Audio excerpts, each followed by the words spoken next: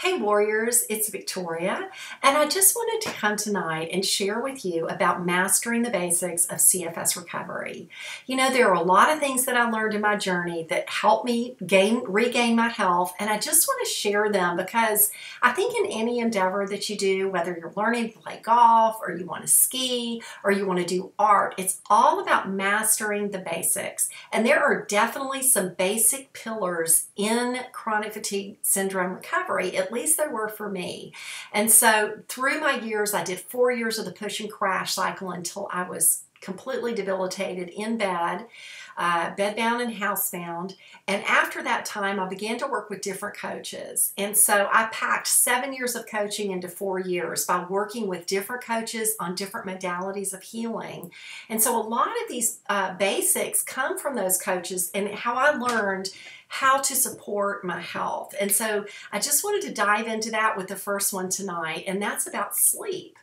And so you know, the reason why sleep is so important is because that's where our bodies heal and repair and recover. And if you're not sleeping or getting into that deep sleep, you're not your body's not going to be able to heal. And the challenge with chronic fatigue syndrome is it's kind of uh, it's interesting because our bodies, I think our nervous systems are so elevated uh, that they actually keep us from sleeping. So even though we're completely exhausted and fatigued, we're not getting into deep sleep. Even if we're resting all day and all night in bed, our bodies are not recovering. So we really want to get our sleep right. And the first way that I began to do this was by creating a structure and routine. Because I was in bed all day and all night, my body was getting mixed up about what was day and what was night. And so I needed to create a structure by getting up at a certain time in the morning and going to bed at the same time every night. And also creating rest times during the day so I knew I could get back into bed. It also helps just to get into another room during the day if you are bedbound so that you're not in the same environment, but so that your body is noticing, okay, during the day I'm out here in the living room and at night I'm in here in the bedroom. So just creating structure and routine is really important. And you can look up, you can Google or look up you know, sleep hygiene. I'm not going to go into basics of sleep hygiene today, like looking at screens or, or things like that, because that pretty much applies to all of the population. But I think for chronic fatigue syndrome sufferers, there's a whole different uh, toolbox that we need for our sleep. So that's the first one is structure and routine. And the second one is getting our hormones right. And that might seem like a really big nebulous topic, but basically one of the main things you want to check is your cortisol levels because what I found was that my cortisol levels were flip-flopped. And this is very common with CFSers is that during the morning when they're supposed to be going up and high, they're actually crashing. And then at night when they're supposed to be going down so you can sleep sleep, they're actually going up. So uh, you can get that energized and that really uh, like adrenalized feeling in the evening, and that's because of your cortisol levels. So if you're noticing this happening, you want to go and find a good test for that. You can get them on Amazon. The one that I've used is the ZRT Labs saliva test kit. And you just get the one for the cortisol. You want to get one that tests it four times during the day and it's an easy test. You'll just send it off. You can do this under your doctor or you can just order it yourself and then look at the results. It's going to show you. And then the way that I corrected that was a variety of ways that we'll be going into as we go over the basics of recovery, but um, one of them was supplementation. It was an adrenal supplementation that I used. Um, but anyway, that's an important hormone to check is your cortisol levels. Another thing that was really important for me was checking my progesterone and my estrogen. And so I was very bottomed out in both of those. And so I use bioidentical ones. You get these as a prescription from your doctor. Again, you can take another hormone test. You can get these ZRT labs that will give you feedback on where your hormones are progesterone and estrogen work together. So this is uh, called Mist, and you want to use this with your progesterone. But again, these are going to be prescribed by your doctor. So check with them, find out where you are on your hormone levels because progesterone really helps you sleep.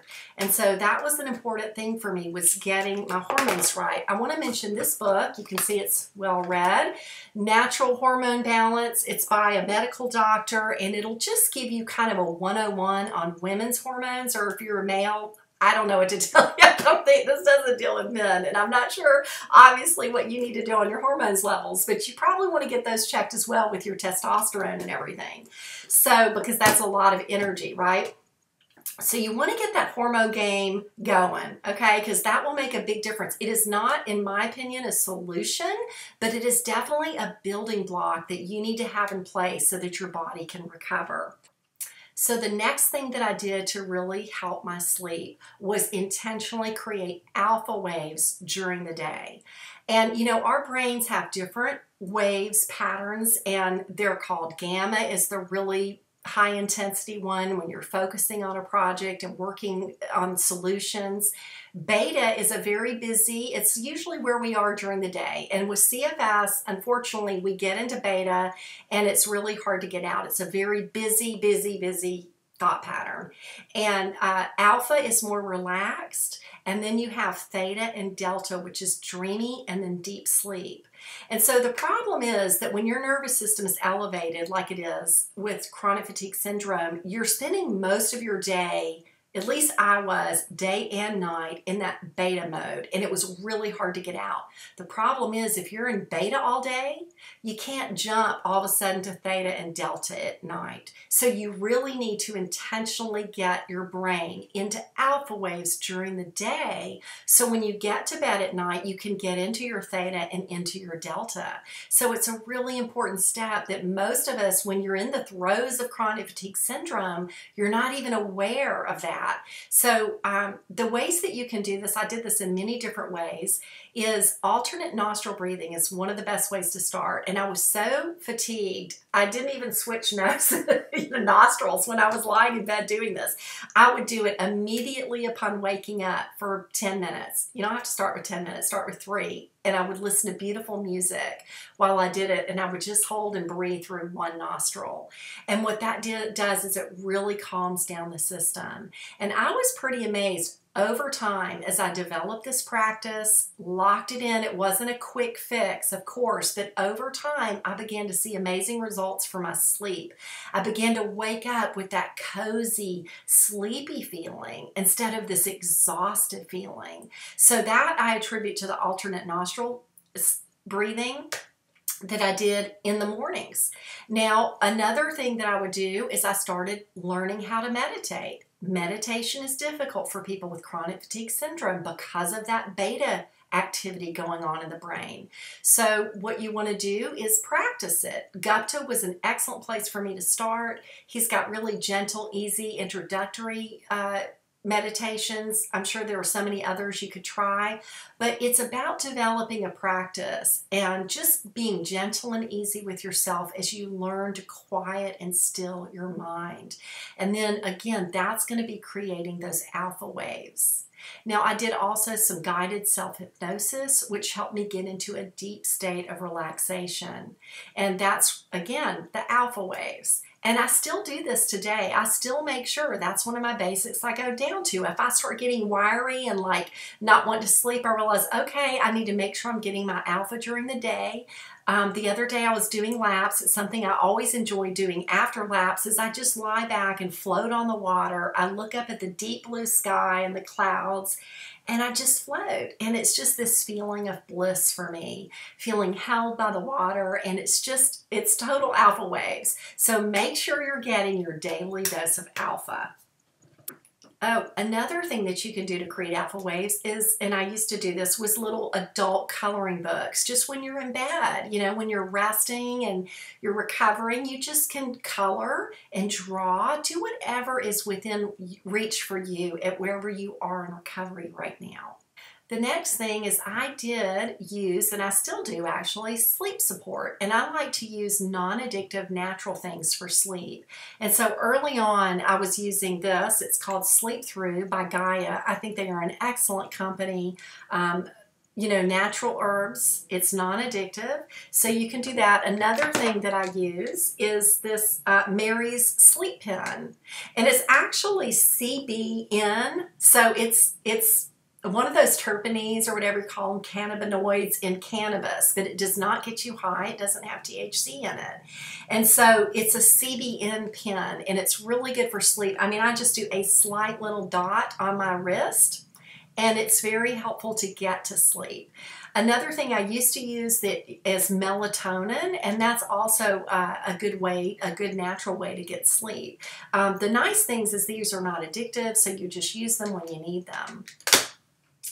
The last thing I would say about my sleep was brain retraining has really been helpful for me. Using brain retraining during the day to get into deep relaxation and also at night when I go to bed, when I go get start getting ready for bed, I make it a habit to park anything that's bothering me during the day or any stressful thoughts come up or anything I saw, saw on the news. It's like, no, you're not allowed during this time of bed preparation and going to bed. So I just like to park any thoughts like that and know that in the morning I can get to them.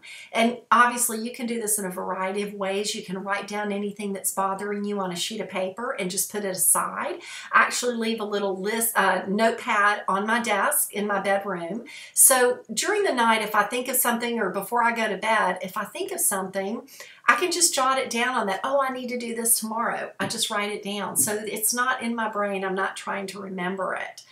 So anyway, warriors, I hope that helps. I hope it helps you start getting some good deep sleep that's going to be a real basic in recovery to master. It's not something that will happen overnight, but I can tell you that you can improve and you can begin to sleep deeply at night so that your body can rest and heal.